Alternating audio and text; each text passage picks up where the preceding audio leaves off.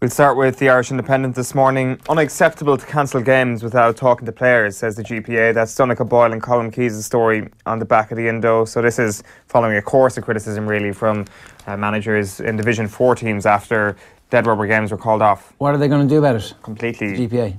Well, they've released a statement and uh, I guess that's the, the first step to doing something.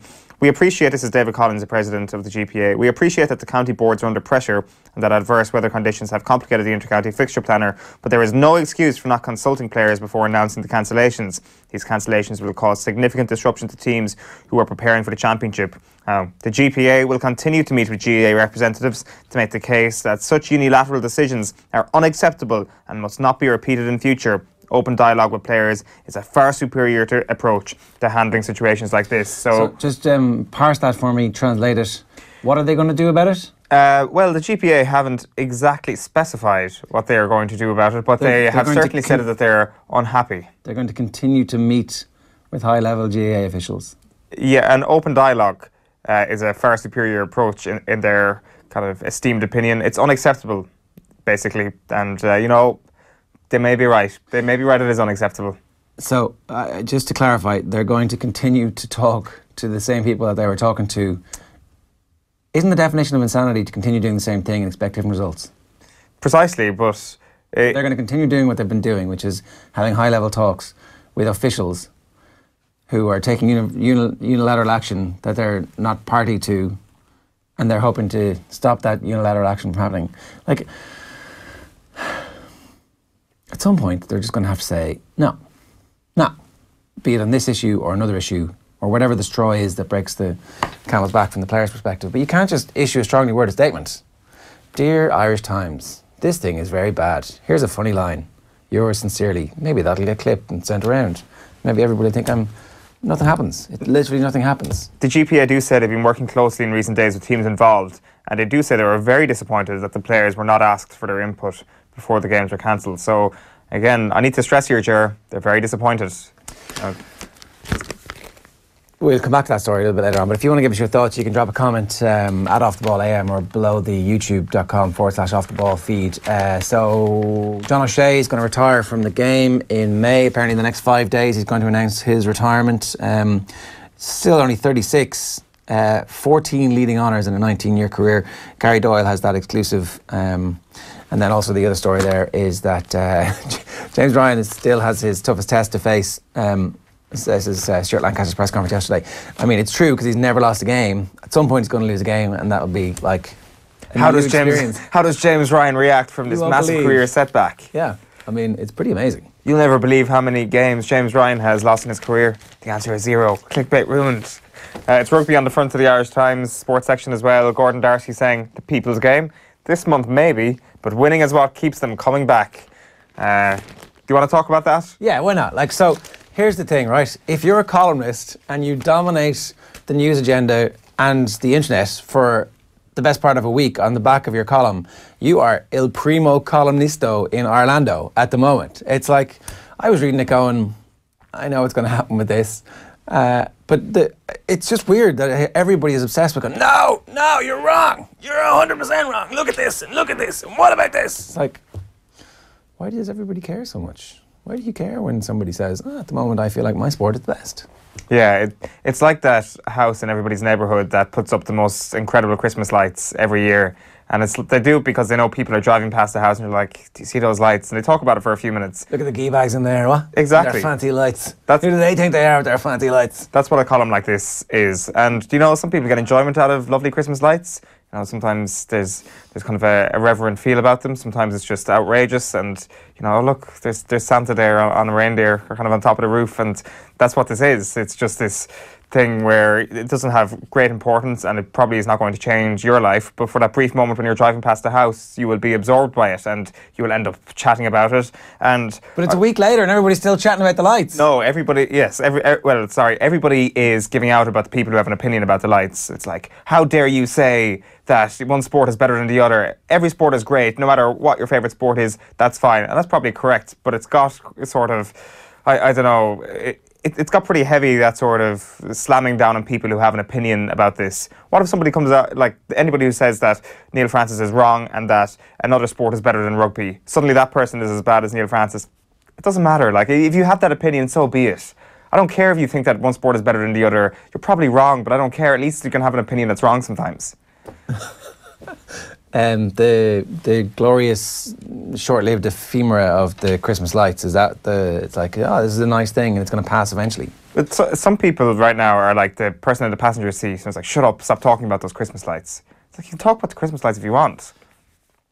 I just think that it's a massive overreaction to a piece which is fairly predictable in terms of like this is a, an absolute apex of achievement and it looks like we're at the start of a cycle of brilliance because of the age profile of the team. So of course you're going to start making the case if you're a rugby columnist that like well things have never been better folks. You all better get used to it. Yeah, but I say a good point. I say let people overreact. If they feel like uh, really hurt by this and they feel that there's no way that I don't know Gaelic games could be displaced as a national game, then so be it. Feel that outrage. Like I'm all for the outrage. Like I, I, I do see your points, and I, I take. Good if some of the outrage had like a reasoned argument as opposed to well look look at this other stuff over here. But I think the reason This is only played by rich people. West Brits. That's basically in the some of the the arguments against like, oh, West Brit. Well, That's uh, it- summed, it summed up in like, Some of those people may have spreadsheets, and they're like, look at the. Look at the socioeconomic factors that produce a lot of these. Maybe, they do have reasons behind it, but to be fair, most of them are, they don't. They're just angry and uh, empty vessels to a certain extent. But let the outrage continue. Is all I'm saying. Um, it's rugby as well. Also, who cares about what the national sport is? Why does it matter? Who cares? Who cares? Why? well, Why everybody assessing my sport's a national sport? It's like, what? Why do? Why does it matter? It's a made-up title that means nothing. Yeah, there's a lot of made-up titles that mean nothing and mean something at the same time. Well, like, Well, the made-up title of being, say, the greatest footballer in the world. Like, there's okay, the Ballon d'Or is a figure, i- is an actual thing where you can Yeah. mark that person. there you go. Yeah, there's no prize every year. But, oh, you are the number one national sport this year. Well done. The greatest, the greatest footballer of all time. There's no prize for the greatest footballer of all time, but yeah, it is something that that debate means something to people. The the national sport. I can see why it's a debate that means something to people. I don't particularly care about it, but I say stop bashing people who care about it. Like that, you've just done it there. You you said It doesn't matter. Okay, okay, but okay, so maybe you think it doesn't matter, but stop bashing people who think it does matter. But stop getting caught up in this. Like, Who cares if you get, if you get caught up in it? Who cares what people care about? But because- like, stop telling people what they should care about. okay, I'm not telling people what they should care about. I'm saying that this is like a massive overreaction to a column which was predictable and really well written. Like, it was like, I would say designed to, in some ways, provoke the response that it's got. Look, you're probably right. And everybody's walking into this like, ah, now. Yes, Okay. And it doesn't matter if Uh, you're like if yes. you're if you're a GA fan. That's my point. You should be secure enough in the. Well, actually, I love my sport, and I'm doing my best to keep it growing, and I'm not complacent about the threat of rugby. Mm, Except I'd say it seems like maybe people are kind of missing the boat on that with their crappy championship structures. If you're a 16 year old who's athletic and playing a bit of rugby and playing a bit of GA and playing a bit of soccer, where are you going to go to? Well, yeah, I, I agree with that sentiment, but I say the people who are insecure about it, let them be insecure. Let them kind of vent anger towards columnists who said that rugby has taken over and is now going to rule Ireland forever. Let, let them be insecure. I'm all for insecurity. The front of the Irish Examiner is rugby as well. The thinking 10, Ian Keatley, we're not going to go out and outmuscle a team like Toulon. Uh, Donal Lenihan saying, oh, for some of Leinster's strength and depth down south. That's probably a kind of a sentiment that's shared by a lot of people in Munster. Leaving the chest for last. It's because he's got his chest out. Uh, that is the uh, top off. Sean Donlan celebrating the winner deep into injury time. And then Noel King, obviously, on the sideline after our 1 0 win against Azerbaijan last night in Tallaght. Scenes, look at those scenes, is uh, Rice and Shine. 99 problems, but a deck ain't one, is the uh, tab of the morning to you. Uh, No? I heard, I saw one saying 99 problems, but a pitch ain't one, which is probably kind of beats it, but I can't remember what the, the pitch reason was. Um, was it Nafina?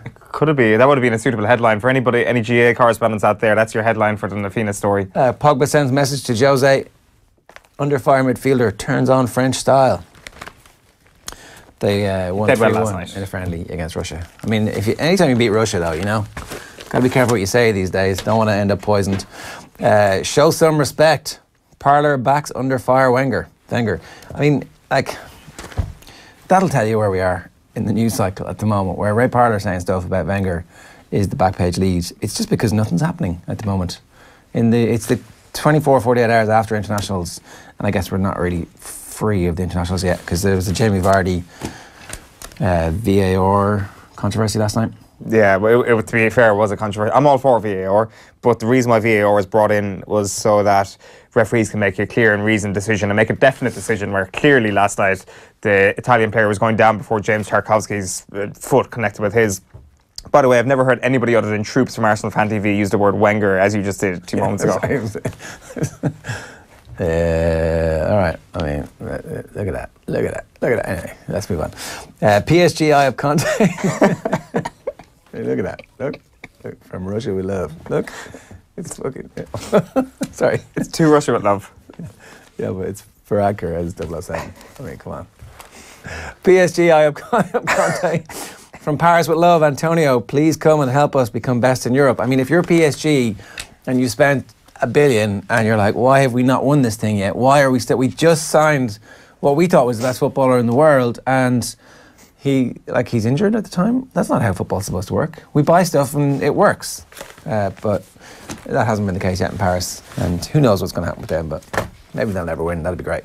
Uh, just a couple of other stories then. The Racing Post on the front page here is going with Footpad fillip for Aintree after owners reroute Star. Uh, we were chatting about this yesterday with Johnny Ward, and Footpad was looking to be going in the Gold Cup at Fairyhouse this weekend, but that's not going to happen. Going for the Aintree National now at this point, so that's a big development in terms of racing. And then lastly for me is the Irish Daily Mail crying foul, England's night ruined by VAR penalty.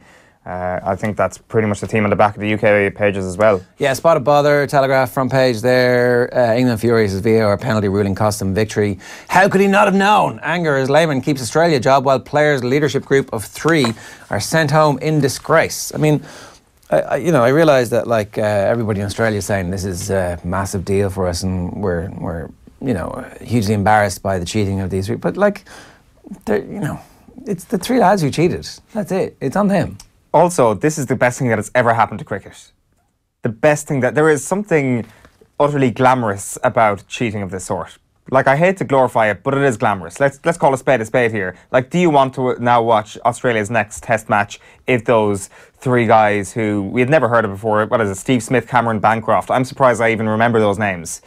Like Lehmann is the name of the coach. I know. I now know three people involved with uh, Australian Test cricket. How many did I know last One week? One of whom isn't Shane Warne one of whom who isn't Shane Warne exactly. So this has been the best thing that's ever happened to cricket, the best thing that's ever happened to Australian cricket, the the best thing that could possibly the best contribution cricket could make to world sport in a world that hasn't already been penetrated by cricket. That is the best thing that could have happened. And these three guys are going to go down in history as you know the Australia three or whatever they're going to be called down the line. And I'm watching Australia's next Test match. I'm going to take four days off work and watch the full thing start to finish. This is um, the Chicago Black Sox of the 19 teens?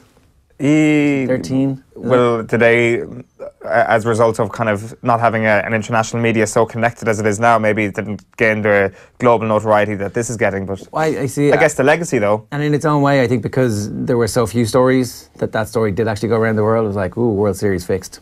What about A Rod? See, A Rod kind of more, more glamorous. Barry Bonds more glamorous. A Rod definitely more glamorous because they've got the Madonna element and the money. Okay, Mad- are, you know. maybe Madonna trumps uh, cheating, but uh, I, I, think Barry Bonds, A Rod. What, what's the first thing that comes to your mind when you think of them? Why are they so famous? Why are they better than the rest? Um, well, there's obvious reasons for that, but you know. Well, Barry Bonds hit more home runs than anybody else. Well, there you go. Time. There you go. There, there is that. There is that. But uh, one of the uh, one of the NFL head coaches was interviewed. Should Barry Bonds be in the uh, Hall of Fame? Like, yeah, straight away. So that's happening this year. Uh, later on this summer, he's going to be inducted to the Hall of Fame over in San Fran. So that, that'll be an interesting story to, to keep an eye on. It's, it's just. Or not. There's others just decide baseball. No, they like their juicers in baseball. Fair play to them. They're like nakedly open about it as opposed to cycling, which is like, we love our juicers, we just don't like the ones that get caught. Yeah, precisely. Well, some of the ones that get caught. Like, I mean, uh, Vinokurov with Team Astana, of course. Richard Virenque, who, who, I've spoken about on the show before, as uh, working for some top French media outlets. And uh, yeah, so if you get caught, just, you know. Poor Virenque couldn't actually even win when he was doping. Couldn't actually get it together to win. Well, you see, the thing was, he got busted before they got the good stuff into them, didn't they? In, uh, uh Festina. Yeah. Uh, although they'd had the good stuff for a while, right? Well, that is true, but so did everybody else.